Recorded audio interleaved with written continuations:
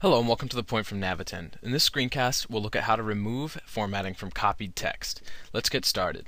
Here's the text I want to copy. It's heavily formatted, and I only want the actual text content. However, if I paste directly into Word like this, you can see that the formatting is is preserved. In Word and other Office products, however, we can remove the formatting by highlighting the text and pressing Control plus spacebar. You see that the text has been totally restored to our default Word formatting.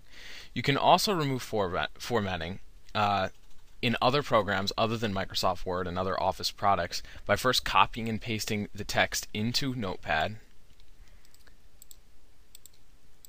and then reselecting the text and copying and pasting into your document.